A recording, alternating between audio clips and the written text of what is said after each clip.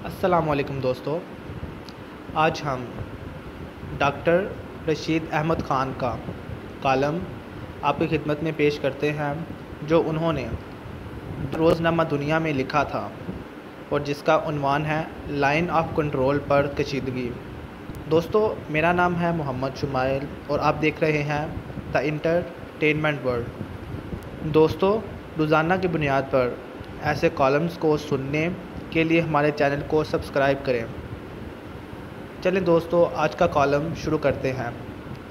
भारत के साथ मिलने वाली पाकिस्तान की सरहदें तीन किस्म की हैं।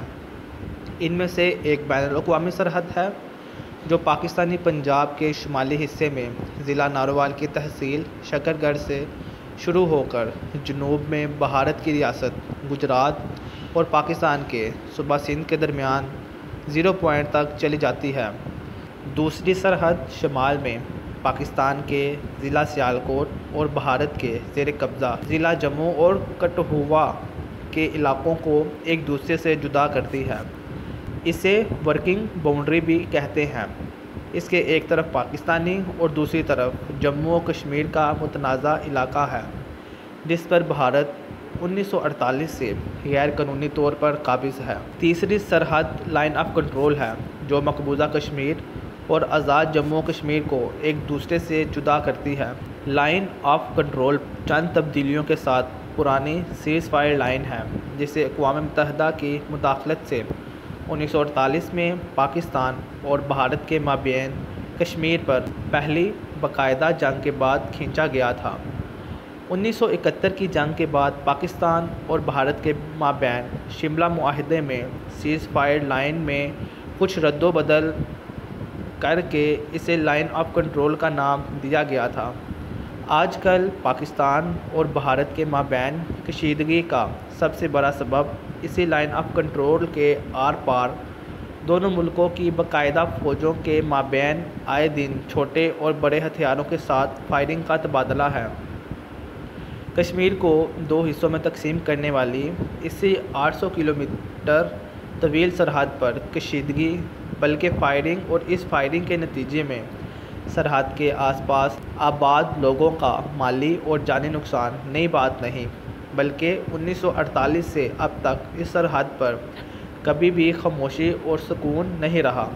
इसकी वजह यह है कि पाकिस्तान और कश्मीरियों ने इसे कभी भी एक मुस्तकिल बैन अवी सरहद तस्लीम नहीं किया, बल्कि मकबूजा और जम्मू कश्मीर की आज़ादी के लिए लड़ने वाली सियासी जमातों ने इसे ख़त्म करके कश्मीर के दोनों हिस्सों को मिलाने का मुतालबा कर रखा है।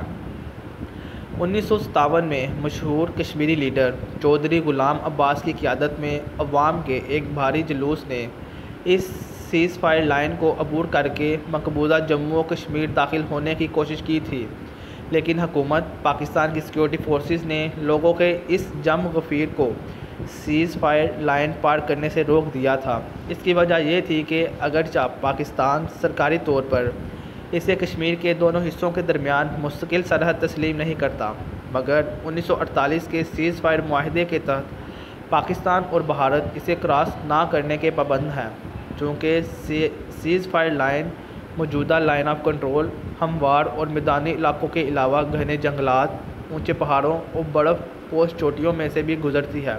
इसीलिए गैर कानूनी तौर पर और छुप छुपा कर इस लाइन ऑफ़ कंट्रोल के आर पार आमदोरफ्त का सिलसिला हमेशा जारी रहा है।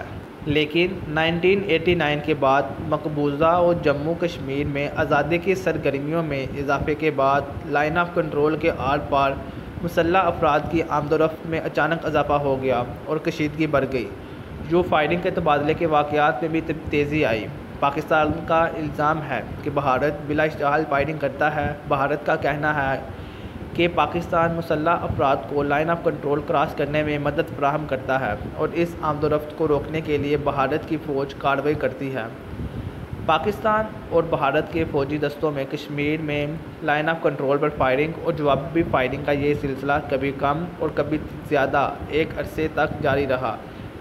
ता वक्त ये कि भारत के अनजहानी सबक वज़ी अजम और बीजेपी के लीडर अटल बिहारी वाजपेयी ने 8 अप्रैल 2003 को श्रीनगर से पाकिस्तान और भारत के दरमियान कश्मीर का मसला मुस्तकिल तौर पर हल करने की तजवीज़ पेश की थी। इस वक्त पाकिस्तान में एक सिविलियन हुकूमत कायम हो चुकी थी और मीर ज़फ़रुल्ला जमाली वज़ी अजम थे। उन्होंने इस तजवीज़ को कबूल करने में ज़रा भी देर ना की और तीन शोबों, यानी तजारत, खेल और अवामी रबतों को फ़रोग देने के लिए बातचीत पर रजामंदी ज़ाहिर कर दी। इसी तरह, नवंबर 2003 में पाकिस्तान और भारत के दरमियान लाइन ऑफ़ कंट्रोल पर मुकम्मल जंग बंदी और अमन के लिए माहदे पर दस्तखत हुए। इस माहदे से लाइन ऑफ़ कंट्रोल और वर्किंग बाउंड्री के दोनों अतराफ रहने वाले लोगों में खुशी की लहर दौड़ गई थी और मुसलसल फायरिंग और गोलाबारी की वजह से जो घर, सुनसान और खेत खलियान वीरान थे, वो एक दफ़ा फिर आबाद हो गए और फ़सलें लहलहाने लगी।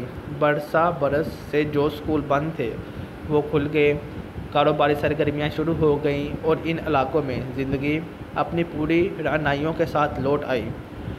मार्च 2004 में जब पाकिस्तान और भारत के माबैन कंपोजिट डायलाग के तहत मुतनाज़ मसाइल, जिनमें कश्मीर भी शामिल था, का हल तलाश करने के लिए दो तरफा मुजाकर का सिलसिला शुरू हुआ तो लाइन ऑफ़ कंट्रोल के दोनों तरफ़ आबाद लोगों ने ना सिर्फ़ अपनी मुआशी और कारोबारी सरगर्मियों में मज़ीद इजाफा किया, बल्कि इसी दौरान अप्रैल 2005 में मुजफ्फराबाद श्रीनगर बस सर्विस का आगाज़ भी हुआ।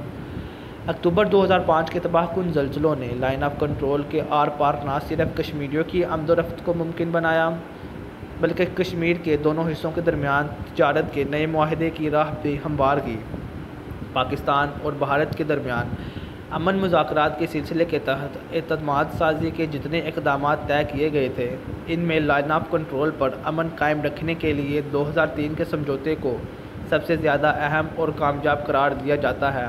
मगर नवंबर 2008 में मुंबई के वाक़े के बाद पाकिस्तान और भारत इस अमन माहदे पर अमल पैरा ना रह सके और दोनों तरफ़ से इसकी खिलाफ वर्जियों का सिलसिला शुरू हो गया। इन खिलाफ वर्जियों और फायरिंग के तबादले में इस वक्त से नुमाया तेज़ी आई। जब मई 2014 में नरेंद्र मोदी ने बीजेपी के लीडर की हैसियत से भारत के वज़ी अजम का अहदा संभाला, नरेंद्र मोदी ने 2014 के भारतीय पार्लिमानी इंतबात से कबल ही ऐलान कर दिया था।